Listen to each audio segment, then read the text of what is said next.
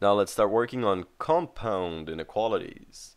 Starting with the first example, x is smaller than 8 and, very important word, x is greater or equal to 3. So what we're going to need to do is essentially draw three number lines on top of each other, like this. The first number line, we're going to take a look at x is smaller than 8. So put the 8 over here and note that it's an open dot. Why is it an open dot? Because x is smaller than 8 but not including 8. So, okay, x is smaller than 8 so we can shade the area or just highlight it to the left of 8 because x can be anything smaller like 7 0 negative 10 whatever. And x is greater or equal to 3 so what I'll do is now graph this over here on the second line. So put in the 3 that's going to be a closed dot. Why is it a closed dot? Because we're including it. X is greater or equal to 3. So over here I can highlight this area. And now for the last line, this is actually going to represent the solution set. And something that we really need to pay attention to is this word, in this case and. When we have and instead of or, we're going to look for the intersection between the two lines. So whatever they have in common. So what do they have in common in this case? We have highlighted this area in common for both of them. So I'm going to highlight the 3 as well because that's included. The 8 won't be included because it's not be included for the first line. And the solution set will be just between 3, and 8. So essentially the solution set would be x is in between 3 and 8, including the 3, but not the 8. Okay, what about OR? Hopefully this made sense. If not, please follow more examples. Then it will make sense. Now we have x is smaller than 8. So let's graph that. So we have the 8 again. So a line just like this one. We highlight the area to the left of the 8. Then we can graph the x is greater or equal to 3, identical to over what we had over here.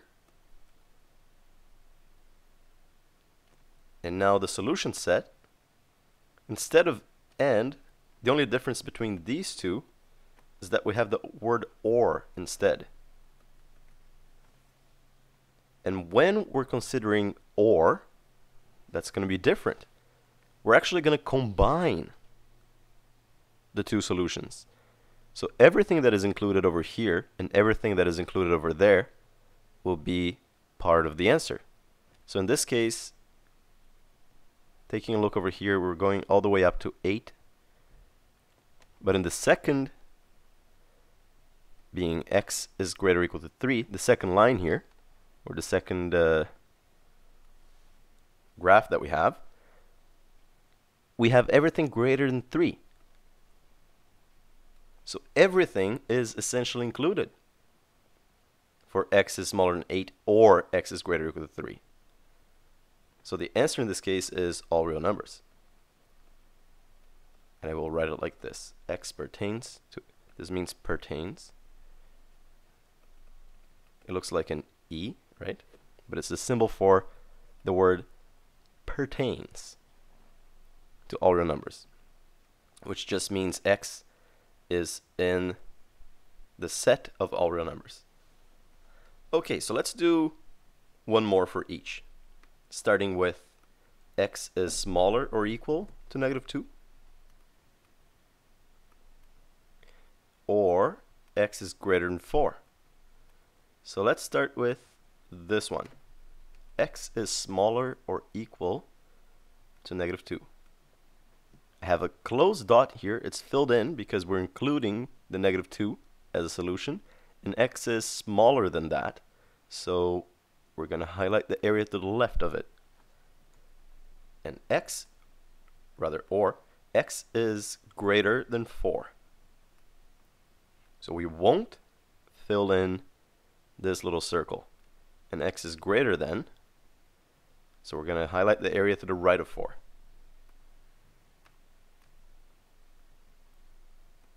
Okay, so what is the solution set for the composite, for the, for the compound inequality? Well, I'm going to bring down the negative 2 over here and the 4 and it's an open dot and we're essentially combining these two so the area to the left of negative 2 and the area to the right of 4, but not including 4, will be part of the solution set. And that's it. So essentially, x is smaller or equal to negative 2, comma, x is greater than 4, represents the solution set. Then finally over here, our last example. Let's draw a number line for x is smaller than negative 1. We're not including the negative 1 because it's not equal to, right? And x is smaller than that, so I can highlight the area to the left of negative 1. Then I can highlight the area to the right of 5. So we have x here, x there.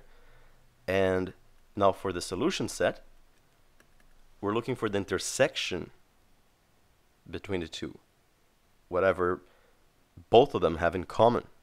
And in this case, they have nothing at all in common. So this is the solution set for it.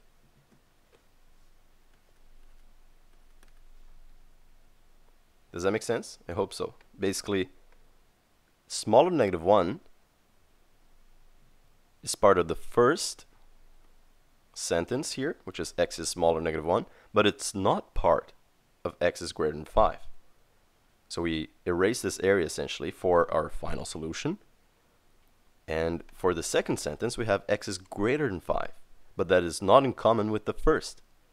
Because it, that's essentially not part of the first. So the intersection between them consists of nothing at all. That's it. So now I suggest that you try a few questions yourself, graph a few solution sets, for um, I mean uh, compound inequalities, and good luck.